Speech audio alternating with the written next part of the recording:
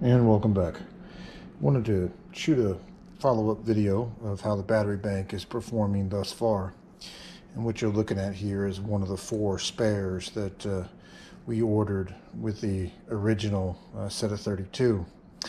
Um, what I'm going to attempt to splice into the end of this video is going to be a series of uh, I think three or four clips and it's going to show an issue that we discovered that with the new battery bank under high loads, uh, 60, 70 plus amps, when there's a little when there's a cloud cover or very little sun and it's pulling the majority of what the inverter needs from the batteries uh, you'll see an example in there of cell id 7 in which it fell a pretty good amount below the other cells in the bank uh, and you'll see that in the chart there is a, a fair bit of difference. Uh, now, upon further investigation, uh, what we discovered, and if you remember, the current battery bank setup is, just using this cell here as an example, is that you've got your uh, your grub screw or your set screw or your threaded rod, however you want to look at it. But these little Allen set screws they send with it, it's on here. And then in our setup, what we have from there is, you know, one of these serrated flange nuts that then goes on the top of that. And this this set screw you see here, or, grub screw, is a little bit taller than what you get with the batteries. These were uh, some slightly longer ones that we ordered that I was going to use on the battery bank, but then you know, after receiving the batteries in, the, the studs that came with it were, were long enough.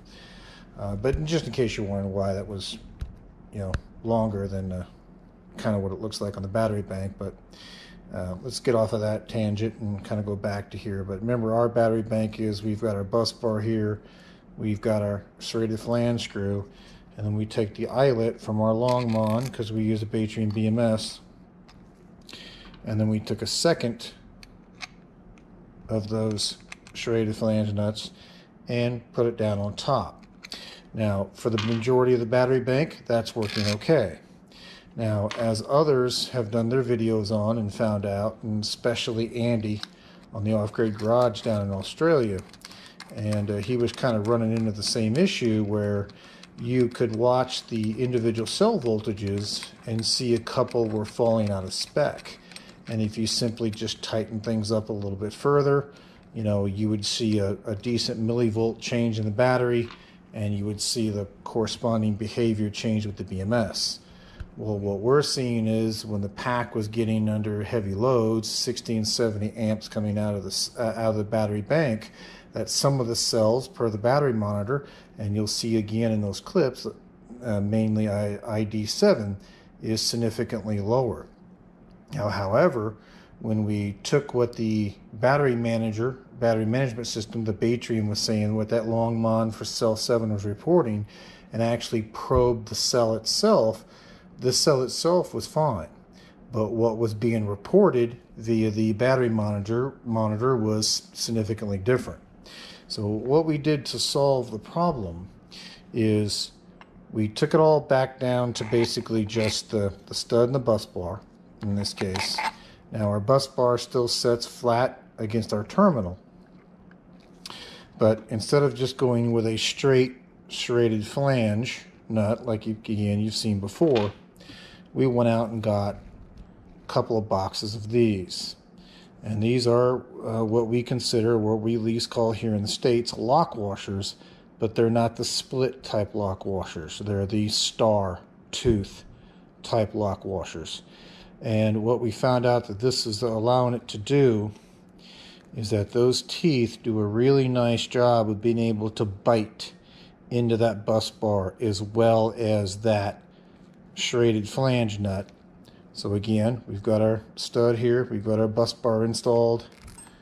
We drop our tooth washer onto that, and then we drop our serrated flange nut onto that and tighten it up accordingly.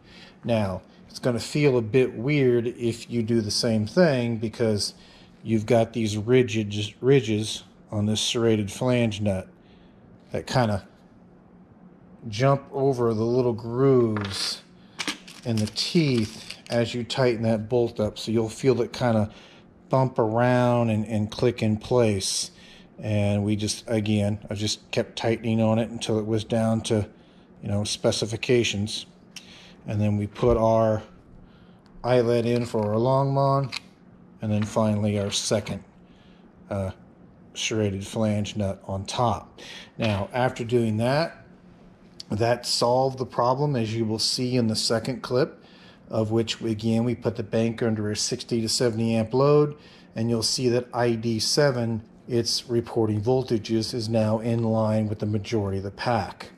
Now, the last clip that you will see is we spent more time while the pack was under load grabbed the IDs of every cell that was behaving the same. In other words, reporting you know significantly um, lower voltage per cell than the remaining of the pack, and did the same treatment.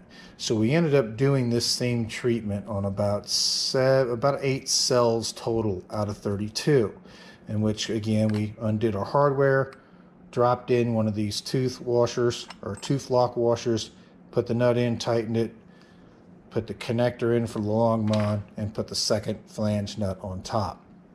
After doing that, what you'll see in the final clip is again, we're putting the bank under a 61, 62 amp load, I believe it was.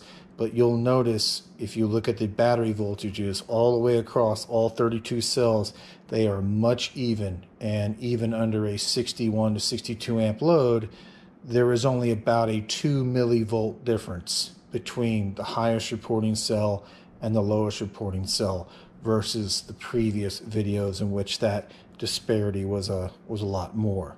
So it kind of goes to show you that earlier when we spoke about why we were using one LongMon per cell and yes it's a little bit more expensive it's a little bit more tedious of a setup but in this case it gave us the ability to look at each individual cell's health and determine that there was a problem with a couple of the cells as far as their connection versus the remaining cells. Uh, so if I would have gone with a setup where maybe I had two of these cells in parallel, uh, what could have happened was one of the cells in parallel could have had a connection issue, and if the other cell that that monitor was attached to, uh, if those connections were more secure, I could have had a connection issue with one of the two cells and never seen it.